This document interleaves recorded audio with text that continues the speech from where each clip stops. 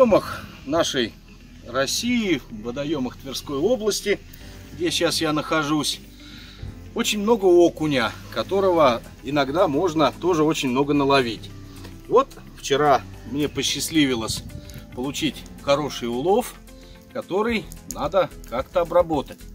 И буду я коптить этого окуня горячим способом копчения. Ну, выходные дни короткие, время летит быстро, поэтому я хочу показать сегодня способ копчения рыбы, который занимает как можно меньше времени и наиболее эффективный. Э, рыбу солю обычно вот в таком вот ведре.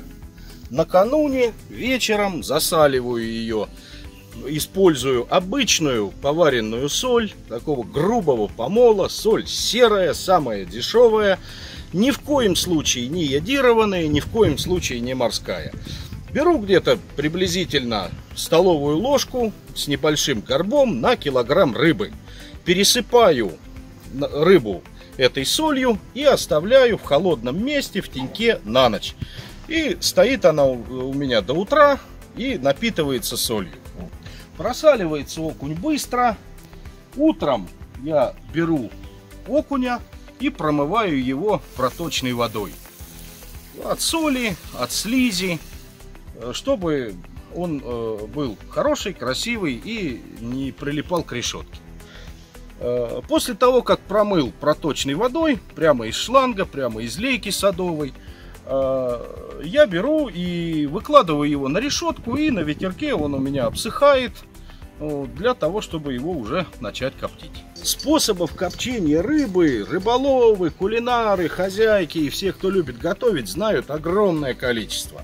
Это и способ горячего копчения, и способ холодного копчения. Вот у меня стоит такая с виду неприглядная, но на самом деле чудесная коптильня для холодного копчения. Э, это долгий способ, сегодня о нем не буду рассказывать. Основная масса привыкла коптить вот на таких вот ольховых опилках. Вот почему-то традиция да, говорит нам о том, что коптить надо на ольховых опилках. Они есть не всегда под рукой. Э, опять же говорю, выходные короткие, за ними не всегда э, удобно ехать в магазин. А вот дрова есть всегда на любом дачном участке. Их в достаточном количестве. Поэтому вот здесь, в Тверской области, есть такой испытанный годами старый деревенский способ копчения рыбы просто на дровах, который позволяет и время сэкономить, и силы сэкономить. Э, щепу э, для копчения обычно намачивают. Дрова мы никогда не намачиваем, они практически никогда не воспламеняются. Э, берем обычную коптильню. Вот коптильня у меня объемом где-то приблизительно 20 литров. Э, для большой коптильни вот целые ольховые поленья можно класть целиком. Для маленькой коптильни их можно расколоть на какое-то количество частей, чтобы они просто поместились на э, дно нашего э, металлического ящика. Это довольно просто, это можно сделать ну, буквально вот в течение нескольких минут. Сначала огонь разводим на мангале, Затем э, раскладываем рыбу на решеточке, на коптильне, так, чтобы рыба друг к другу не прилегала, не, не приставала.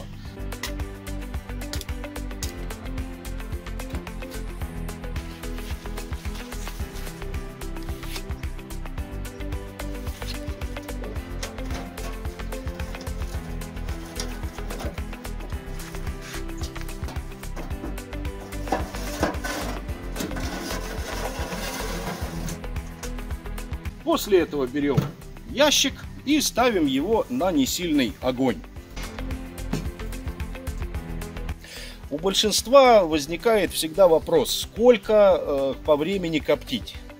Э, коптим мы, естественно, отталкиваясь э, от объема коптильни, которая э, есть в данный момент под рукой.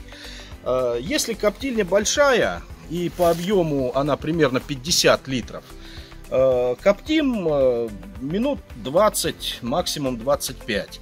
Если коптильня маленькая, как вот в моем варианте объемом э, около 20 литров, то тогда достаточно 10-11 минут. Если будем держать больше, в этом случае рыба будет сухой, будет очень горькой, впитает в себя большое количество дыма, то есть будет невкусная, будет э, совершенно испорченный продукт. Прошло 11 минут, снимаю коптильню, видите, держу ее совершенно спокойно, хоть она и горячая, поэтому всегда рекомендую, чтобы коптильня э, была с такой с негреющейся ручкой. И не открывая, ставлю в тень где-то минут на 25-30. Вот в тени рыбка у меня будет остывать. Пройдет 25-30 минут, крышку отодвигаю и оставляю на ночь остывать полностью. За это время рыба пропитается всеми соками, бульонами, которые в ней содержатся, напитается еще дополнительно ароматом, ну и главное, она не будет приставать к решетке. Не надо ее смазывать маслом, не надо еще придумывать каких-то сложных способов. Просто главное не трогать. На следующее утро снимаю рыбу с решетки и увожу домой на радость близким, знакомым, друзьям. Очень вкусный, очень ароматный, эксклюзивный продукт.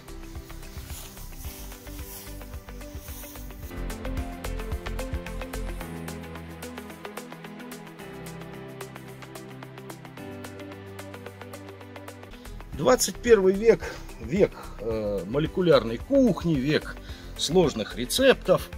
А я э, все время э, был и остаюсь сторонником всего надежного, простого, испытанного веками.